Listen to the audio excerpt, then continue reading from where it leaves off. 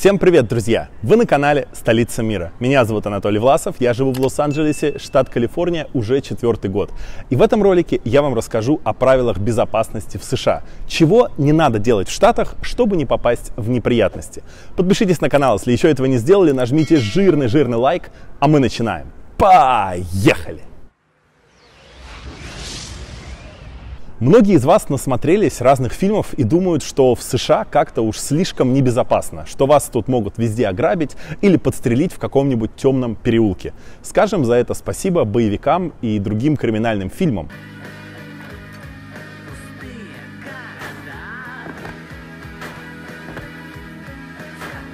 Но в реальности все-таки дела обстоят несколько иначе.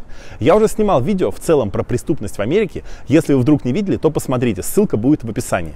В целом же Америка довольно-таки безопасная страна. Уровень жизни высокий, уровень благосостояния среднего американца здесь в разы выше, чем в большинстве других стран мира. Поэтому хоть без преступности вообще нельзя обойтись, но все же не стоит драматизировать и бояться, когда вы сюда приезжаете. Тем не менее, существует несколько правил безопасности, о которых я все-таки хотел бы поговорить и которых стоит все-таки придерживаться, чтобы не попасть в неприятности. Некоторые из них обусловлены не прям законами и прям вот безопасностью, а просто культурными различиями и местным менталитетом. Начнем с очень банального, но я знаю, что многие все равно никак не понимают этого. И это произносить слово на букву «Н» по отношению к афроамериканцам. Вам не нужно тут искать логику. Это просто культурная и историческая особенность конкретно этой страны. Есть как бы два варианта этого слова с ER на конце и с A на конце. Вот первое слово является прям оскорбительным, особенно если его произносит белый человек, так как именно этим словом белые когда-то обращались к рабам, когда здесь было рабство. А второе слово используется в значении друг, братан, но тоже просто обычный белый человек не может это произносить без того, чтобы не нарваться на претензии со стороны окружающих.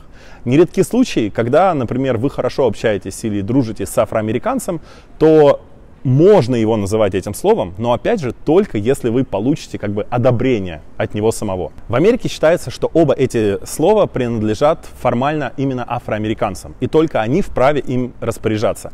Да, я знаю, что звучит это странно, и что эти слова содержатся в очень многих песнях, в кино, но вот как бы что есть, то есть. Не пытайтесь это логически понять. Надо это просто принять как факт. Это разница менталитетов и культур. Как в России, например, вы можете спокойно получить в лицо, если пошутите про маму с какими-то кавказскими народами. А вот в США, например, в шутках про маму нет ничего страшного. Здесь э, об этом шутят в кино, в сериалах и так далее. Это просто разница культур. Помимо слов на букву «Н» в отношении афроамериканцев, в Америке также есть еще и другие оскорбительные слова в отношении других народов. Например, в отношении евреев есть вот это слово, и в отношении китайцев. Вот такое слово, например, есть. Их также нельзя произносить. Хотя внутри этих групп люди вполне могут в шутку так вот друг друга называть. В принципе, с натяжкой можно сравнить это со словом «хач» в России в отношении кавказских народов. Но в Америке эти слова имеют гораздо более оскорбительный оттенок, чем у нас вот это слово. Особенно в отношении афроамериканцев, так как здесь все-таки было рабство. В общем, чтобы все было окей, просто не произносите эти слова в Америке. И все. Ну и в тему разных слов на английском языке перед поездкой в Штаты никогда не будет лишним подучить английский язык. Даже живя здесь, я все равно продолжаю учить английский, так как сам язык очень живой и он постоянно впитывает в себя какие-то новые слова и новые выражения. В связи с этим хочу порекомендовать вам канал онлайн-школы английского языка English. Обучение у них прошли уже больше 30 тысяч студентов из 52 стран. Их методика обучения позволяет заговорить на английском языке в два раза быстрее, чем с репетитором. На канале English. вы не только сможете быстро подтянуть ваш английский язык, но и отлично проведете время. Всегда будете знать, что посмотреть, ведь на канале регулярно выходят обзоры фильмов и сериалов и YouTube-видео, по которым удобно учить английский язык. Вы там также найдете полезные советы и упражнения, чтобы прокачать английский или поддерживать уровень языка. В общем, будете в курсе всего. На канале ребята обсуждают самые актуальные темы в мире и в интернете, как серьезные, так и не совсем. В общем, если учиться по учебникам вам скучно, то подписывайтесь на канал English. и учите английский язык с удовольствием. Ссылка в описании. Следующее, что вам надо знать, это когда вас здесь вдруг останавливают полицейские, то нужно на 100% следовать указаниям офицера полиции и ни в коем случае не делать никаких резких движений. Все наверняка наслышаны о том, что в США полицейские могут и пристрелить. Они, конечно, не будут стрелять без предупреждения, и то только в том случае, если вы своим поведением будете представлять опасность или будете совершать, знаете, какие-то движения руками, которые могут быть интерпретированы полицейскими так, как будто бы вы тянетесь за оружием, типа вот такие вот всякие движения, то реально могут пристрелить. Но вообще, после вот всего времени жизни здесь, мне очень сложно представить, что здесь нужно сделать такого, чтобы тебя реально остановили полицейские. Меня ни разу в жизни здесь не останавливали. Я езжу нормально, соблюдая все правила, а просто для проверки документов здесь никогда не останавливают. Поэтому если вы будете гонять или будете пьяным за рулем, то тогда да, вам точно прилетит и вас остановят. Зачастую полицейские по громкоговорителю просят э, держать руки на руле, не делать никаких резких движений и спокойно показать все необходимые документы. При этом выходить из машины не нужно, а то это может плохо закончиться. Конечно, если они сами не просят вас выйти из нее. В общем, если вас остановили, то делайте все в точности, как говорит офицер, и все будет окей. Следующее, что вам надо знать, чтобы не попасть в неприятности в США, это держитесь подальше от неблагополучных районов. Америка гигантская страна. Здесь живет 320 миллионов человек. Здесь есть как нормальные места, так и не очень. И это ну, нормально. Особенно это касается крупных городов. В каждом крупном городе всегда есть места, где преступность сильно выше, чем в других. Не будем вдаваться в причины этого, просто примем, что это имеет место быть, это факт. При этом прелесть Америки в том, что все эти неблагополучные криминальные районы, они всегда всем известны и всегда четко ограничены. Если вы останавливаетесь в отеле или спросите у местных, а американцы, они всегда очень отзывчивы и всегда помогут и подскажут иностранцу, то вам расскажут, в какие районы лучше не ездить.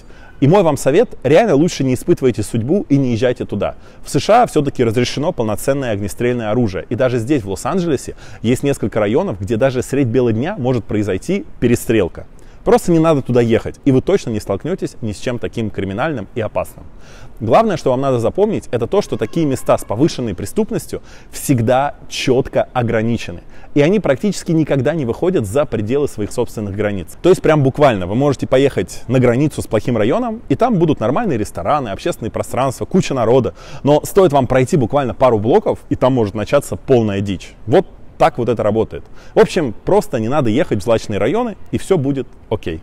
Идем дальше. Не оставляйте вещи в машинах. Особенно если машина стоит ночью на уличном паркинге или вообще в каком-то месте с большим количеством людей. Лично у меня никогда не было инцидентов, но у многих моих друзей и знакомых реально были кражи из, из автомобиля, когда им разбивали стекло и забирали вещи, когда машина стояла на паркинге.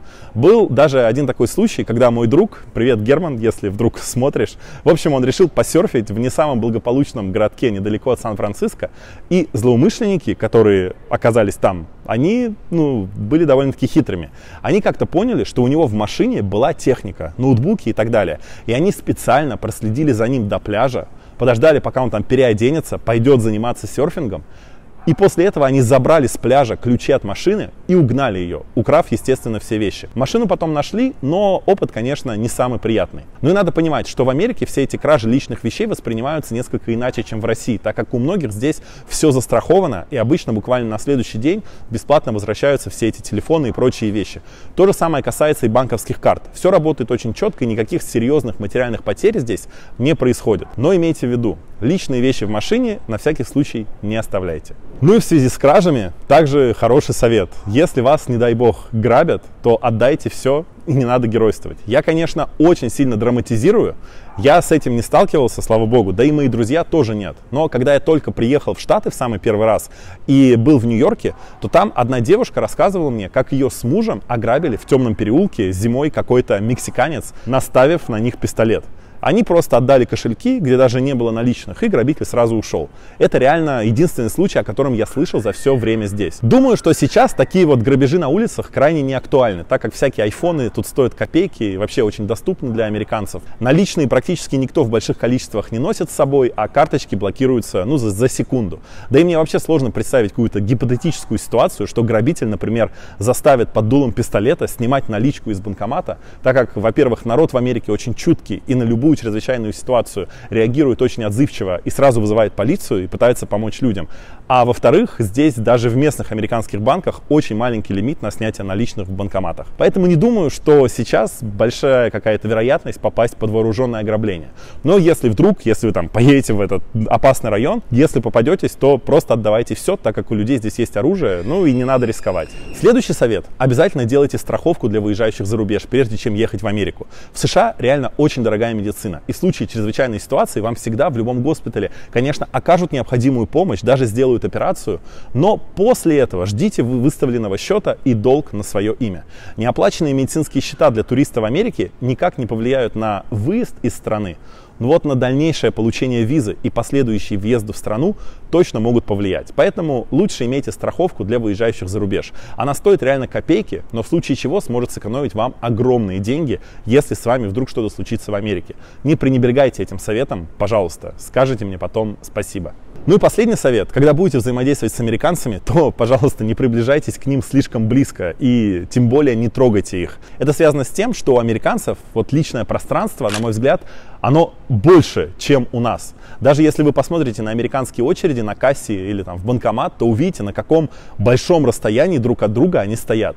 И это все из-за личного пространства. Они не любят, когда к ним приближаются слишком близко, тем более, когда их трогают. Да, у некоторых народов вполне нормально при первой встрече обниматься, даже целоваться в щечку. Но у американцев в большинстве своем это все вызовет сильный дискомфорт и отторжение. Поэтому Просто имейте это в виду.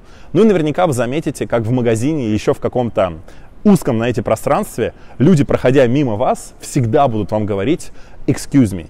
Это они типа извиняются за то, что вторгаются в ваше личное пространство, чтобы пройти мимо. Хотя а, между вами может быть метр. То есть в России бы так никогда не сделали, здесь всегда будут говорить excuse me.